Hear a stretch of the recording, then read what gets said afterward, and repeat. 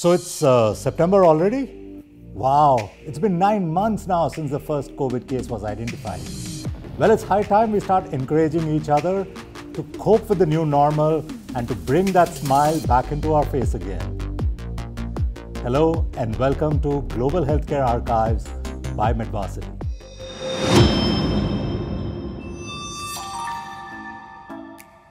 Let's have a quick look at the top healthcare stories of the week. Now, one and a half million children in the US public schools can access quality healthcare comfortably at home.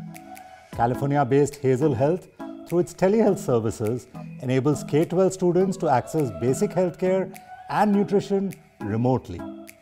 Founded by the serial entrepreneur Nick Woods, Hazel Health has recently raised $33.5 million to expand their footprint across the US.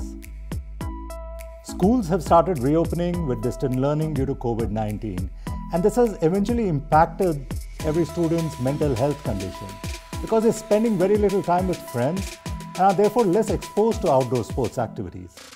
Now, members of school communities can play a very active role in identifying students who are suffering from these mental health complications and help them overcome the illness by conducting various physical activities.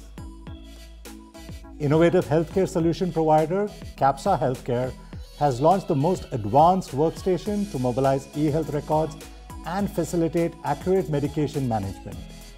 The new Trio mobile computing workstation is compatible with various applications such as telehealth, registration, and phlebotomy.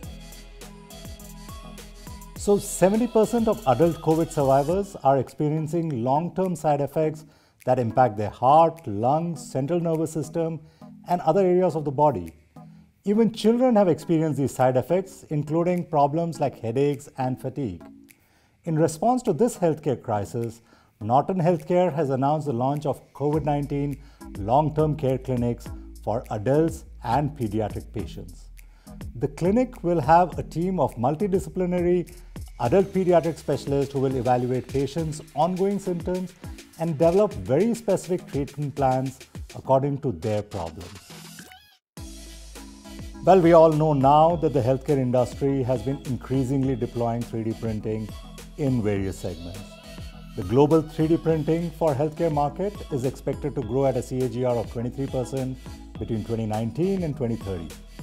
Factors like improved precision, reduced error, efficient use of diverse materials that ensure minimal wastage, is expected to fuel the growth of 3D printing. Due to the lack of state-of-the-art hospitals and the unavailability of skilled doctors, people in rural India are still struggling to get access to quality healthcare.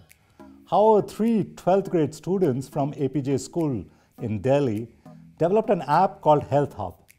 This AI-based health kit is designed to offer basic healthcare to people in rural areas without the presence of doctors and to provide centralized access to all components of healthcare at nearly 5% of the hospital's expenditure.